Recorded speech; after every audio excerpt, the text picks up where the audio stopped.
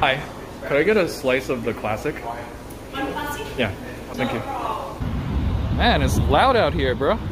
Today we're about to check out a joint that's called Straight Out of Brooklyn. You might be wondering what the hell's a Canadian boy know about local Brooklyn fine dining? I had a slice myself when I went to Brooklyn for a missions trip. Thanks for getting that pizza, Mike. All right, I got the AC going because it really do be heating up. Your boy does not do well in the heat. The size of this thing does not disappoint. I mean, look at that. That's like one fourth of a pizza. I did not expect this. Oh, that's smelling righteous. I robbed them of like half their tissue supply. I'm a messy eater, okay? Don't judge me. Oh, there's barely any flop action. I'm actually one for floppy pizza. This thing's hefty though. That's a good fold. That's a pie. Whoa!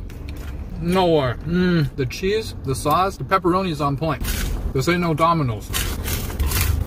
I'm feeling young and skinny again.